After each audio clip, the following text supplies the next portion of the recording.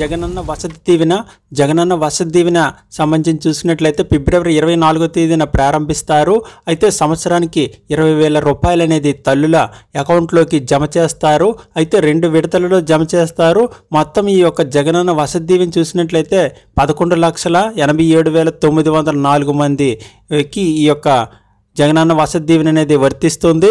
అయితే ఇందులో చూసినట్లయితే ముఖ్యంగా నేను చెప్పేది మూడు అంశాలు అనేది ఖచ్చితంగా మీరు సరిచూసుకోండి. సరిచూసుకున్నట్లయితే మీకు కంపల్సరీ అమౌంట్ అనేది పడుతుంది. ఇవి సరిగ్గా ఉన్న అభ్యర్థులకు మాత్రమే. ఇప్పటికీ అమ్మఒడికి సంబంధించినవి చాలామందికి చిన్న చిన్న తప్పుల వల్ల అమౌంట్ అనేది పడలేదు. ఆ తప్పులు మీరు ఒకసారి చెక్ చేసుకున్నట్లయితే సరిపోతుంది. ఆ తప్పులు ఏంటనేది మీకు ఈ వీడియోలో చూపిస్తాను. ఈ వీడియోలో మనకి చూపించడం జరుగుతుంది. ఫస్ట్ టైం మన ఛానల్ చూసినట్లయితే సబ్స్క్రైబ్ బటన్ అనేది క్లిక్ చేయండి. పక్కన ఉన్న గంటను క్లిక్ చేయడం ద్వారా నేను పెట్టే లేటెస్ట్ అప్డేట్స్ అనేవి మీ మొబైల్కి మెసేజ్ రూపంలో వస్తుంది. అయితే ఈ యొక్క జగనన్న వసతి దీవెని చూసినట్లయితే సంవత్సరానికి ఇరవై వేల రూపాయలు అనేది తల్లుల అకౌంట్లోకి వేస్తారు.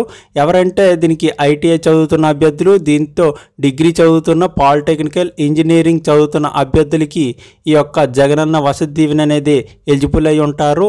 ఇందులో మనకి ఈ యొక్క ఇరవై వేల రూపాయలు అనేది తల్లుల అకౌంట్లోకి వేస్తారు కాబట్టి ఫస్ట్ ఆఫ్ ఆల్ మీరు చూసుకోవాల్సింది ఏంటంటే మీ యొక్క వివరాలు అనేవి సచివాలయంలో ఆల్రెడీ చూసినట్లయితే పర్వాలేదు.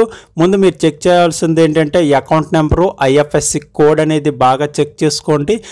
ఫస్ట్ ఆఫ్ ఆల్ మీరు చూడాల్సింది అకౌంట్ నెంబరు ఐఎఫ్ఎస్సి కోడ్ మీ పేరు మొత్తం మీరు అవి వివరాలు చెక్ చేసుకోండి.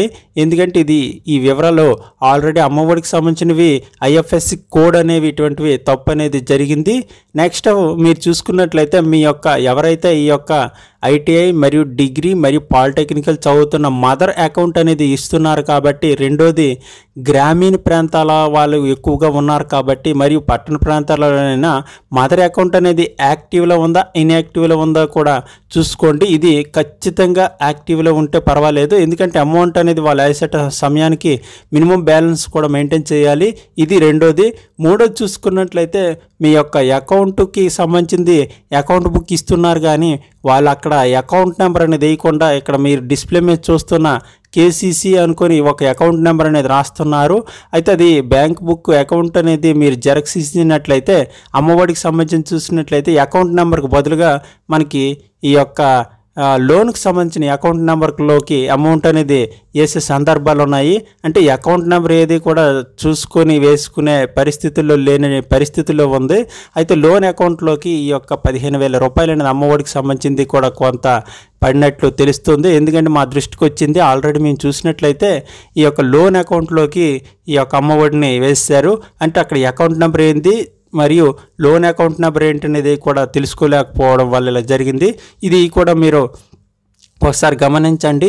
ఈ యొక్క ఇలా మీరు చెక్ చేసుకుంటే సరిపోతుంది. కంపల్సరీ మీ యొక్క అకౌంట్ నెంబర్కి ఆధార్ నెంబర్ లింక్ అయితే కంపల్సరీ ఈ యొక్క జగనన్న విద్యా దీవెన వసతి దీవెనకి సంబంధించిన అమౌంట్ పడుతుంది. ఇలా మనకి చూసుకున్నట్లయితే ఐఎఫ్ఎస్సి కోడ్ అకౌంట్ నెంబర్ బాగా సరి చూసుకోండి ఇది సిఎఫ్ఎంఎస్ ద్వారా ఈ యొక్క అమౌంట్ అనేది ఫిబ్రవరి ఇరవై నాలుగో తేదీన పడుతుంది. అయితే అక్కడ మనం ప్రారంభించిన తర్వాత వన్ వన్ డేలో మీకు ఈ యొక్క అమౌంట్ అనేది ప్రతి ఒక్కరికి పడుతుంది. మీకు కూడా ఈ యొక్క మెసేజెస్ అనేవి మీకు వస్తాయి. ఇలా పడినట్లు మీకు మెసేజ్ అనేది వస్తుంది.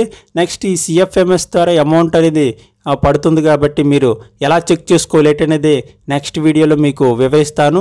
ఈ మూడు అనేది మీరు కంపల్సరీ చూసుకోండి.